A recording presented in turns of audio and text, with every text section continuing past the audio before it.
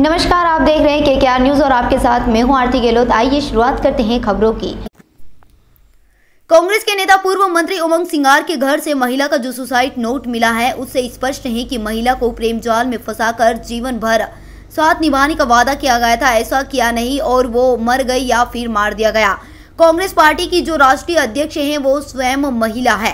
सर्वशक्तिमान गांधी परिवार सोनिया जी राहुल जी, प्रियंका जी जो बात बात पर ट्वीट करते हैं, वो खामोश है या फिर बेहोश है?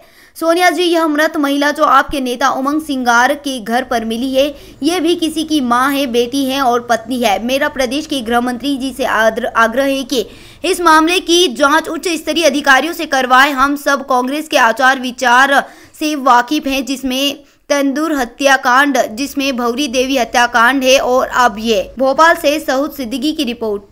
कांग्रेस के वरिष्ठ नेता, मध्य प्रदेश के पूर्व मंत्री, उनके घर से युवती का सुसाइड नोट प्राप्त हुआ है, जिससे स्पष्ट होता है कि महिला को प्रेम जाल में फंसाकर उसे जीवन भर साथ निभाने का वादा किया था और जब ऐसा हो ना सका तो महिला उनके घर से मृत पाई गई या फिर मार दी गई।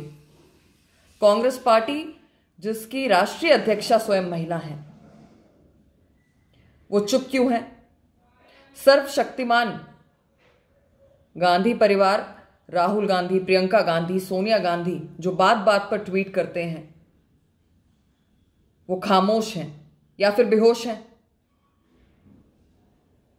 कांग्रेस पार्टी के नेता के घर से जो ये महिला मिली है,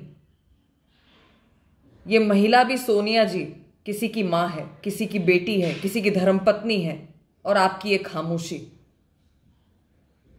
प्रदेश के गृह मंत्री से मेरा विनम्र आग्रह है कि पुलिस के वरिष्ठ अधिकारियों से इसकी जाँच करवाएँ, क्योंकि हम सभी वाकिफ हैं कि कांग्रेस के आचार और विचार में तंदूर हत्याकांड है, भवरी देवी हत्याकांड है, और अब ये महिला।